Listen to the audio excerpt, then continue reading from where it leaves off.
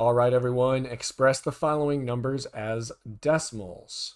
So we have four numbers here, and they are written in scientific notation.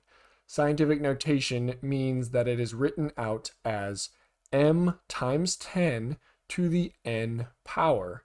And that first number m, or the first part of the scientific notation, must be greater or equal to 1 and less than 10.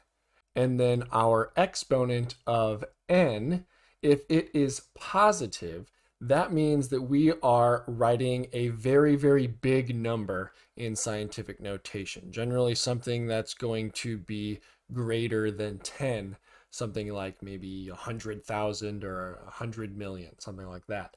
If our exponent is negative, that means that our scientific notation is for a very small number, something like 0.000001, something that is a lot smaller than 1. Okay, so let's do a couple problems so we can see this in action. So number A, or question number A, says 1.52 times 10 to the negative second. So what is this expressed as a decimal?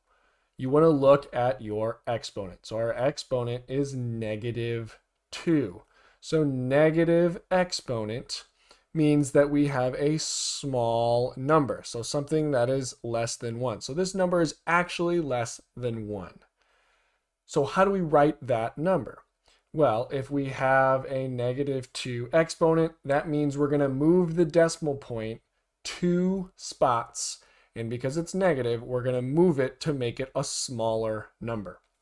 So let's write m, or the first part of this in scientific notation. So that is 1.52.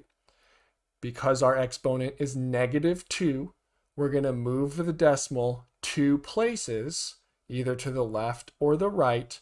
And because it's negative, we want to make the number smaller. So that's going to determine if we go to the left or to the right.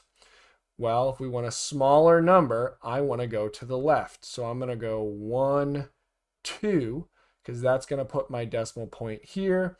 And I'm going to add a 0 because we have nothing in that spot.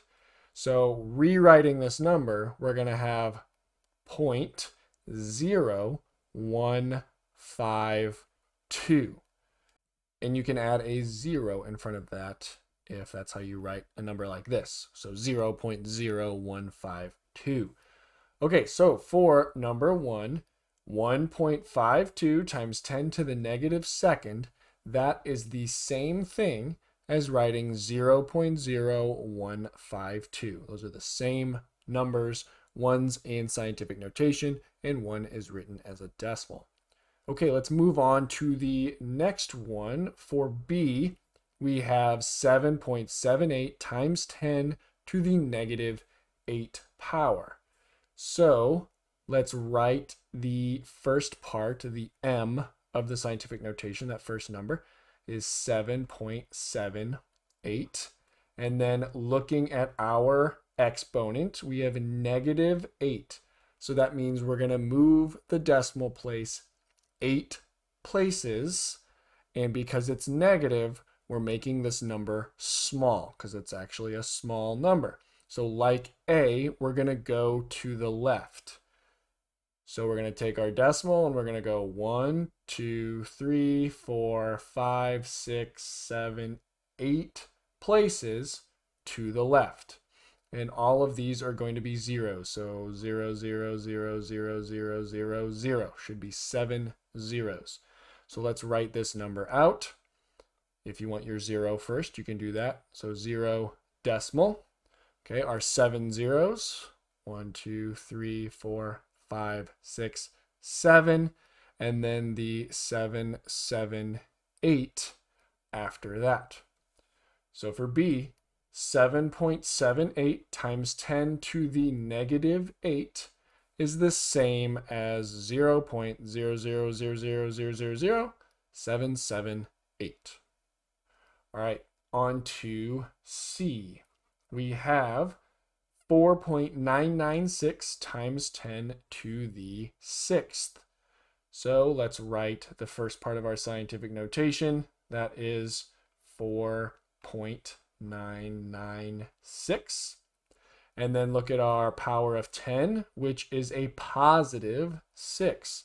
So positive exponent means we have a big number. So we're going to go the other way with the decimal point this time. So we're going to take our decimal point and we're going to go one, two, three, four, five, six places to the right. So let's fill in those three zeros there because we need something in those spots. Okay, so let's write this number out. We have 4996000, and then our decimal point would be right there. What number is this? This is 4,996,000. So that is the same thing as 4.996 times 10 to the sixth power.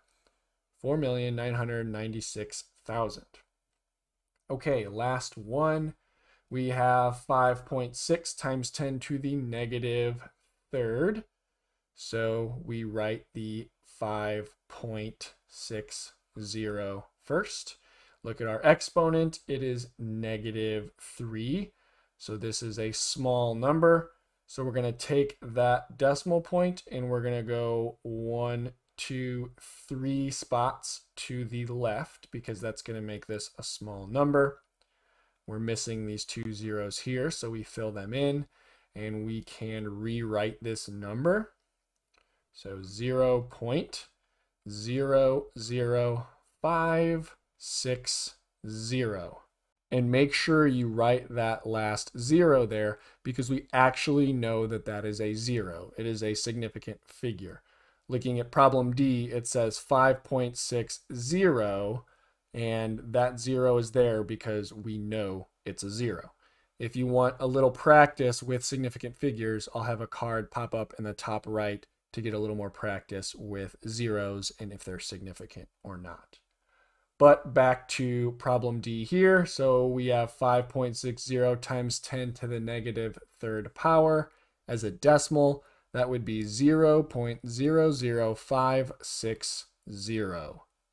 All right, there you have it. How to express the following numbers in scientific notation as decimals. All right, if you want to see another example, click in the top right. Please like this video if it helped you in any way. Feel free to look in the doobly-doo below for additional help and resources. Please subscribe and ring the bell to get notified for new videos. And thank you, thank you so much for watching.